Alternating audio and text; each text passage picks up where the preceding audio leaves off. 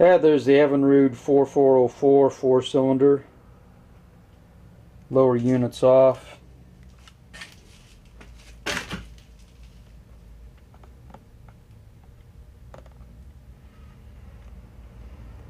You see the holes there for the spark plugs. Got the flywheel off right there. There's the two different coils.